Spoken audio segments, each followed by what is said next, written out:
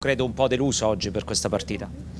Ah, deluso perché non siamo riusciti a ottenere tre punti. Eh, la partita l'abbiamo fatta, abbiamo subito questo gol su una loro punizione, poi dopo abbiamo sempre tenuto palla noi, però non siamo riusciti a trovare il, il varco giusto. Il dato di fatto oggettivo è chiaro, l'analisi è corretta quella che ha fatto Matteassi, ma il dato di fatto oggettivo è che l'unico tiro in porta è stato quello di Pontisso, sfortunato come giovedì scorso che ha centrato il legno. Un tiro in porta in 90 minuti contro una fermana per 40 in 10 è un po' poco. Sì, soprattutto la fermana era tutta nella loro metà campo, nella loro, nella loro area di rigore, via diciamo. Abbiamo proprio fatto fatica a trovare lo, lo, lo spunto giusto, potevamo magari fare l'ultimo passaggio migliore, potevamo tirare un po' di più in porta, però era dura perché loro erano tutti dietro, però, però effettivamente potevamo fare qualcosa in più. Che cosa è successo nell'ultima azione perché Ferrari ha protestato molto? Cosa avete visto dalla panchina voi? Perché eravate proprio in linea? Ma da quello che abbiamo visto, io sinceramente ho visto male dalla panchina perché non voglio fare il finto, però da quello che dicono tutti l'ha presa di, di, di, non di braccio, quindi, quindi doveva essere regolare. Ma secondo me l'arbitro voleva fischiare alla fine, era andato un po' in tilt. Eh, insomma, questa mi sembra una considerazione importante. Massimo, Matteassi all'auricolare ti ascolta a te. Beh sì, vabbè, eh, probabilmente è andata come dice Luca Matteassi anche perché le immagini non sono chiare. Eh, sembra che abbia toccato il pallone con la spalla effettivamente Ferrari, eh, però mh, le immagini non sono chiare.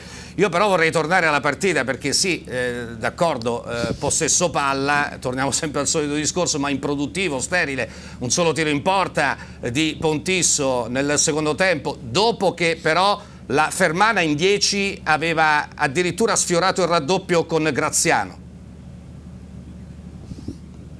Ma quella mezza rovesciata alta? Eh beh sì, quella è una palla gol, eh? Sì, vabbè, noi non è... ma insomma dai, eh, non, non, tanto per me. Però noi non l'abbiamo, ripeto, anche in 10, è vero, potevamo fare qualcosa in più, ma loro erano tutti in tolare di rigore, abbiamo provato, dovevamo allargarla un po' di più e cercare i due attaccanti, perché avevamo messo i due attaccanti, due prime punte davanti, dovevamo fare questo. Non cioè mancano riusciti. le idee, mancano, Ora, Massimo? Mancano le idee perché no, no, no, no, no, no, no, non dico no. questo, non ho detto questo, ho detto che magari dovevamo farlo un po' di più in quel momento.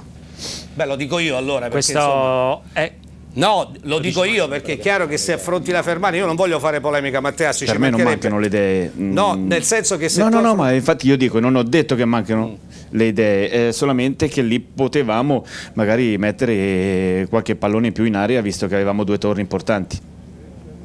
A proposito di attaccanti, Matteassi Cernigoi non riesce a incidere da, da quando è arrivato, perché? Eh, perché eh, Jacopo si sta impegnando, sta, sta facendo come, come, tutti gli altri attaccanti, sta facendo quello che vuole il mister e purtroppo in questo momento ancora non ha fatto gol. Chiaramente l'espulsione di Ferrari è anche pesante in chiave Pesaro. È pesante, pesante, mancherà, un giocatore importante come, come il Loco, eh, giocherà qualcun altro. Massimo, studio l'ultima per il direttore Matteassi? No, perché è chiaro che se noi mh, guardiamo i risultati del giro di ritorno, Luca, eh, l'obiettivo è il terzo posto, no? Tra l'altro si sta allontanando perché oggi il Cesena ha vinto, quindi eh, meno 7 dal Cesena, ci sono ancora tante giornate, però se calcoliamo i, i punti fatti, se sommiamo i punti fatti nelle prime 8 giornate del giro di ritorno, siamo a quota 13, meno 2 rispetto alle prime 8 giornate di campionato. Sì, sì, i numeri non mentono mai, stanno dicendo quello, è vero. Vediamo in queste altre partite di, di, di, di riprenderci i punti persi in queste partite insomma. Ma è deluso o arrabbiato oggi? No, dispiace perché come avete detto voi è inutile stare qui a girarci intorno, anche loro hanno giocato in 10 per eh, tanto tempo, dovevamo cercare di ottenere tre punti. Eh, ma la colpa di chi è? La colpa di chi è? La colpa è che non siamo riusciti a vincere, non, non c'è un colpevole.